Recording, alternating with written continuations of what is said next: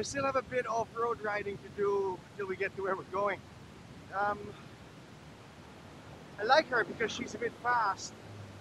Uh, when she gets up to her momentum at 700c wheels, she kind of holds it steady, even if she's got a lot of rubber. But what I have to get used to is this. This group set right here. And the trigger here. That little trigger does things differently from what the other road group sets I know do. Uh, that little lever under the brake lever is meant to go to a harder gear in other group sets, but not of this one. This one makes it easier. To get harder, you do the thumb thing. This one. I get used to it. I like it. It's got a definite clack every time you switch gears. Like that.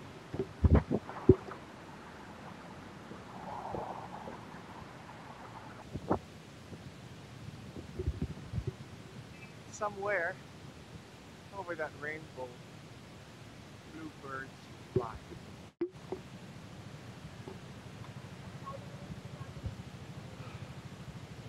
You see it? So pretty.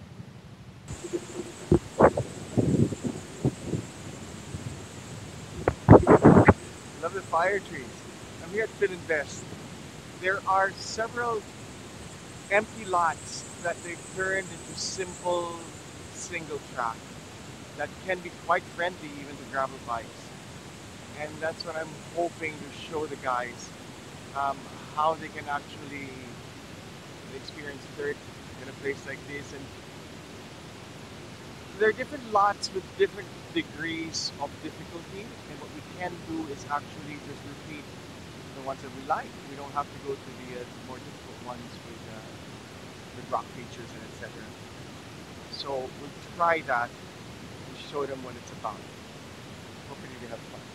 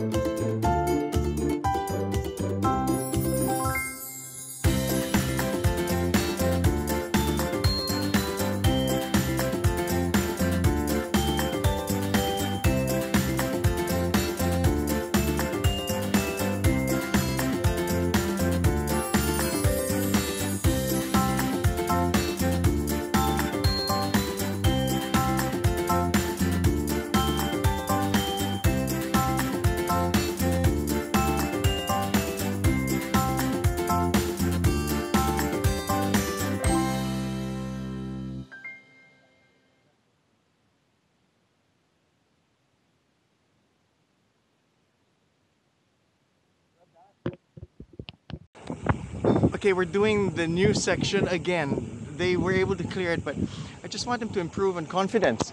Uh, there's a big difference when you actually end up uh, uh, knowing what you're going to ride through already.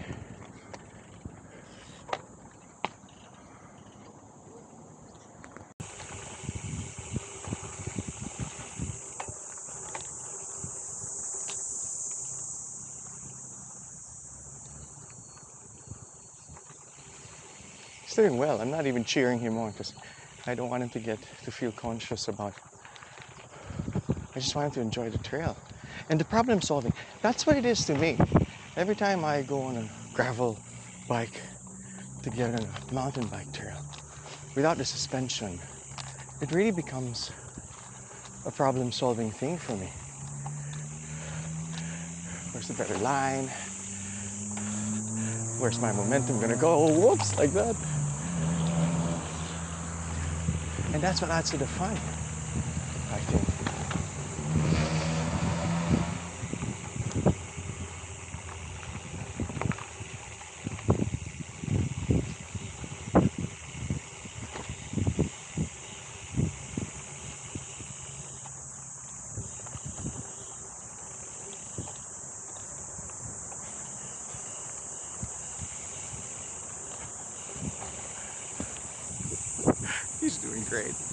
Great.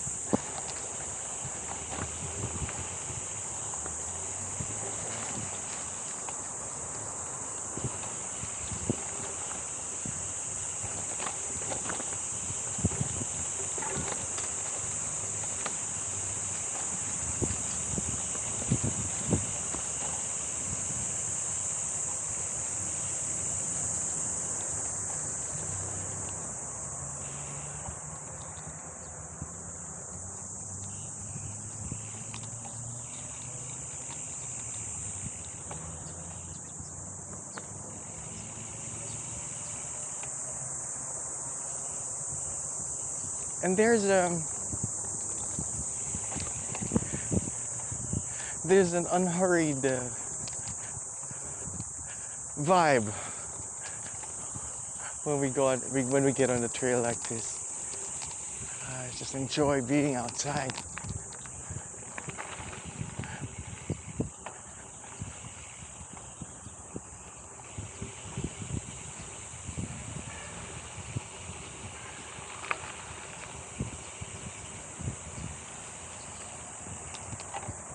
I hope this is building confidence for them.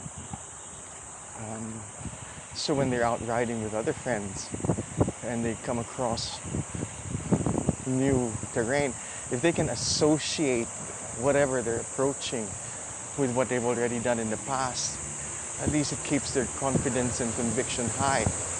And eventually it makes for a safer ride for them.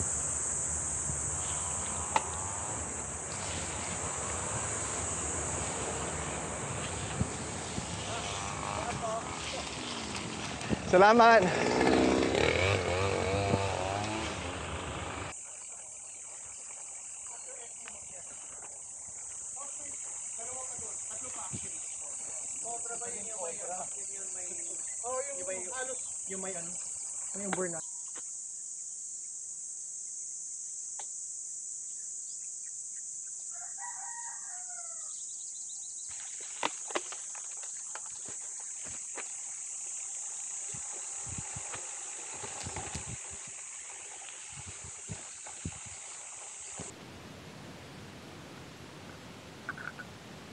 Thanks.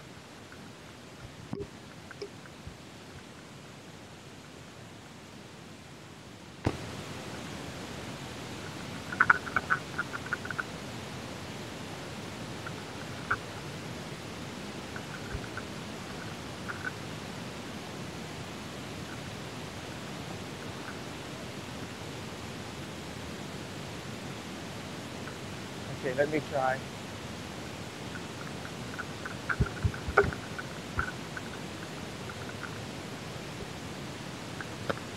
Coming through, coming through, coming through.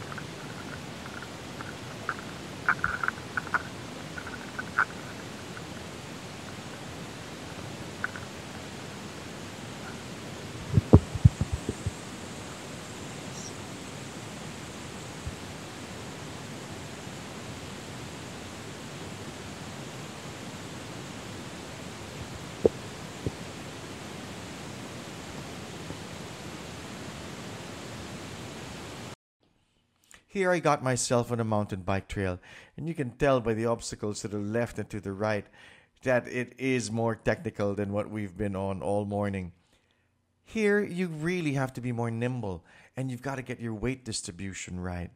You end up uh, leaning back on dips like this just to make sure you don't go over the bars. Uh, you also have to make sure that your rear wheel clears.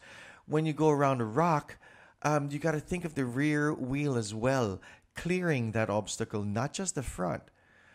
And I noticed with this bike having larger wheels, uh, 700C is equivalent to 29er wheels on a mountain bike. You need, well, I need a little more nudge from the shoulder just to get the uh, direction I want right away. Not just that, you also have to worry about the power you put. A little bit more here just to crest the top, but not too much that you end up slipping in place on the dirt. And then you got to slow down just to make sure you don't overshoot a turn. It's such an interesting route this this this one. Pedal strike there, and uh, it is so difficult to actually get the momentum back because you practically stop. Uh, you, you hop up uh, when the pedal hits the rock, and and you could actually fall or stop. And I fortunately just stopped. But I was having a blast. This is the last section out, and I stayed behind uh, because I wanted to enjoy this, and enjoy I did.